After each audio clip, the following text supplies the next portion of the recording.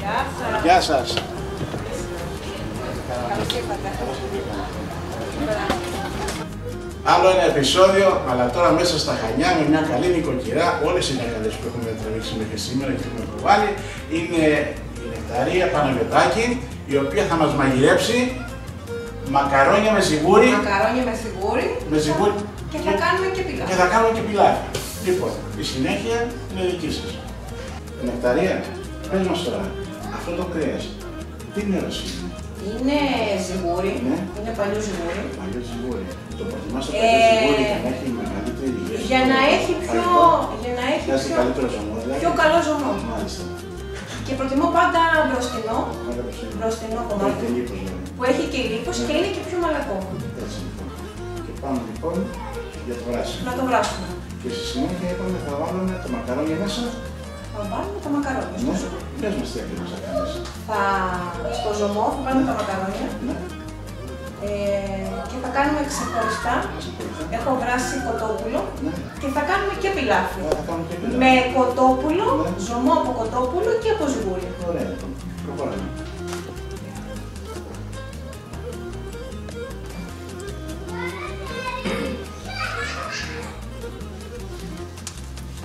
Να πούμε και ένα μυστικό. Το μυστικό για να πετύχουμε καλό ψήσιμο, μαλακό και τρυφερό κρέας είναι να το βάλουμε το κρέας σε ζεστό νερό και όχι σε παγωμένο όπως βάζουμε τα υπόλοιπα κρέατα. Και μέχρι να ετοιμαστεί το φαγητό από την Εκταρία, απολαμβάνουμε τον καφέ μας και φυσικά θα δοκιμάσουμε και το κέρασμα με τα ξεροτήγανα που μας έφερε. Είναι πολύ καλή νοικοκυρά η Εκταρία και κάνει και καλά γλυκά. Τα ξεροτήγανα πραγματικά έχουν ωραία εμφάνιση για να δούμε τώρα και τη γεύση. Το κρέας έβρασε και είναι η ώρα για να ρίξει η Νεκταρία τα μακαρόνια. Νεκταρία, τι θα κάνεις τώρα, Το κρέας είναι έτοιμο, ναι, έχει μαλακώσει αρκετά, Ναι. είναι έτοιμο, το βγάζουμε από το ζυμό ναι, και ρίχνουμε τα μακαρόνια. ωραία. Θα το ανασύρουμε τώρα. Ναι.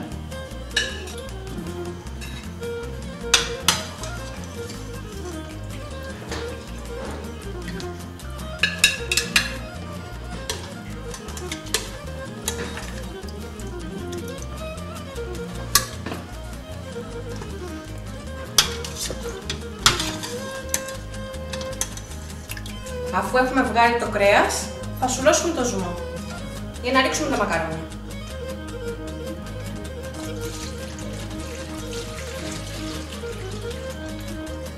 Να ευχαριστήσουμε όμως και την αγαπητή φίλη τη Χρύσα, η οποία μας βρήκε την Εκταρία, τη μαγείρισε εδώ στην περιοχή του Παπακόπουλου και μαγειρεύει αυτό την ώρα στην φαγητό.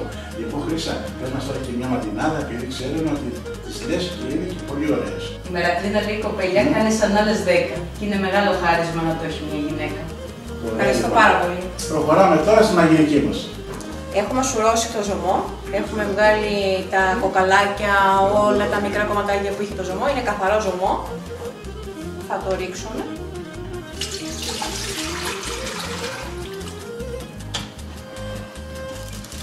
Και θα ρίξουμε τα μακαρόνια.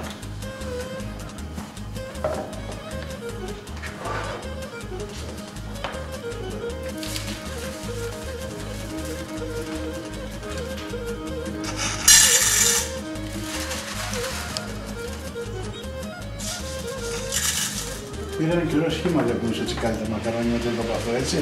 Θα δείτε πόσο νόστιμα θα είναι τα μακαρόνια. Ναι, γιατί δεν τα κόβεις όμως. Αν τα σπάσουμε, σπάει και η γεύση του μακαρονιού. Τα βάζουμε πάντα ολόκληρα. Οπότε είναι ένα μυστικό λοιπόν. Είναι μυστικό. Για να βράσουμε τα μακαρόνια, τα αφήνουμε 8 λεπτά. Όταν θα έχουν τραβήξει όλο το ζωμό, θα είναι έτοιμο. Μόλις τραβήξουμε το κρέας από την κατσαρόλα, το αλατίζουμε με χοντρό θαλασσινό αλάτι.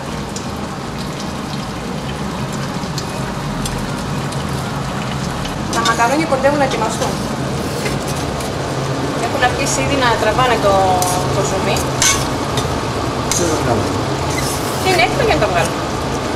Τώρα θα τρίψουμε ξερό αφότυρο για να σερβίρουμε τα μακαρόνια. Ήρθε η ώρα για το πιλάφι. Νεκταρία, για πες μας τώρα την αναλογία του ζωμού με το ρύζι. Έχουμε το ζωμό από το σγούρι Ναι. και τώρα θα βάλουμε και το ζωμό από το κοτόπουλο που έχω Είναι βράσει λίγο νωρίτερα. προηγουμένως, έτσι. Έχω βράσει Για να έχουμε κόκορα. ένα πολύ νόστιμο πιλάφι. Για να έχουμε καλό Μάλιστα. πιλάφι θέλουμε και κοτόπουλο και ζυγούρι. Βάζουμε το ζωμό από το κοτόπουλο μαζί με το ζυγούρι στο ζωμό για να φτιάξουμε το πιλάφι.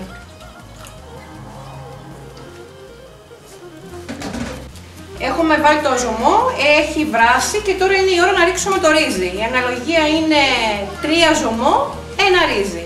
Με όποιο τρόπο το μετρήσουμε, όπως το μετρήσουμε. Ρίχνουμε το ρύζι.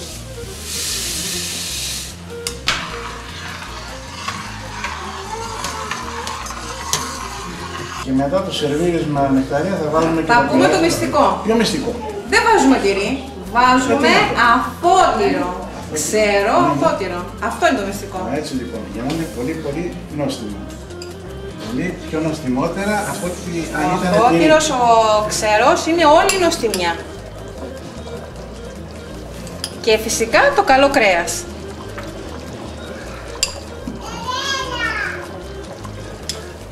Είμαστε έτοιμοι. Ήρθε η ώρα να σερβίρουμε τα μακαρόνια.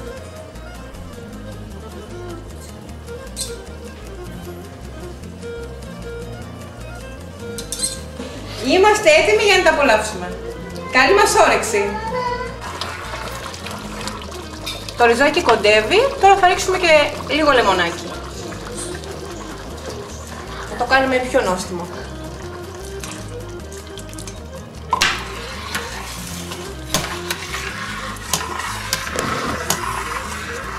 Σε λίγα λεπτά θα είναι έτοιμο. Επειδή ο ζωμός ήταν πολύ δυνατός και από το ζυγούρι και από το κοτόπολο, δεν θα το ζεματίσουμε το πιλάφι. Είναι ήδη αρκετά λιπαρό. Η παρέα μας μεγάλωσε και έχει πλαισιωθεί με πολλά μικρά παιδιά. Ένα από αυτά τα παιδάκια είναι και μουσικός, είναι καλλιτέχνης. Πώς σε λένε αγόρι μου; Ο Μιχάλης. Τι παίρνεις; Μαντολίνο. Μπράβο αγόρι μου, συγχαρητήρια. Τι τραγούδι είναι αυτό; Τραγούδισε κιόλας. Μαλάματα για λόγια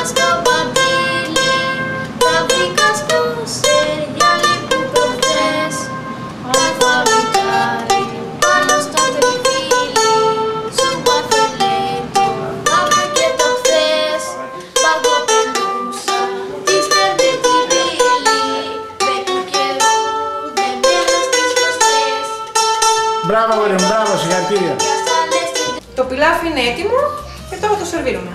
το σερβίρουμε. Η παρέα μεγάλωσε, τα φαγητά ετοιμαστήκανε, είναι πολλές εκπλήξεις που μας ετοίμασε εδώ η Νεκταρία. Την ευχαριστούμε και τη συγχαίρουμε γιατί πραγματικά οι νοστιμίες αυτές έχουν μας υποβολήσει όχι το σπίτι, όλη τη γειτονιά εδώ στο Παπακόπουλο.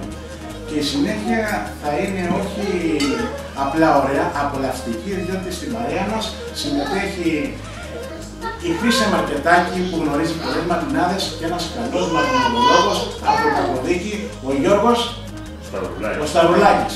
Λοιπόν, η συνέχεια σε λίγο. Στην υγεία σας για την ώρα. Να είστε καλά. Καλώς ήρθατε. Καλώς ορίσατε. Καλώς ορίσατε. Καλώς σας βρήκαμε. Και η ώρα της μαντινάδας. Χρύσα ξεκίνησε. Άλλαξα θέλω στα γιατί, στα πρέπει πήρα θέση. Με μάθες να λέω στην καρδιά αλήθεια, θα μπορέσει. Καρδιά σου βρήκαν οι γιατροί, μα δεν ανησυχούνε. Γιατί έχεις πέτρινη καρδιά και οι πέτρες δεν μπορούνε. Να θυμάσαι ότι όσο σκληρή και αν βρεις καρδιά, μπορείς να τη λυγίσεις. Αν θα της δείξεις ανθρωπιά και όχι προκαταλήψεις. Εδώ δεν μπορώ να σου απαντήσω. Τώρα ήρθε η σειρά του μικρού Θοδωρή. Θοδωρή Κοτσιφάκη να μας πει μια ωραία μαντινάδα. Έλα, Θοδωρή, πες την. Δυνατά. Δυνατά, δυνατά. Κατέω πάω στο νερό, κατέω με γυρεύω, κατέω άλλη μια σας συνελέω. Μπράβο, αγόρι μπράβο, πολύ ωραία.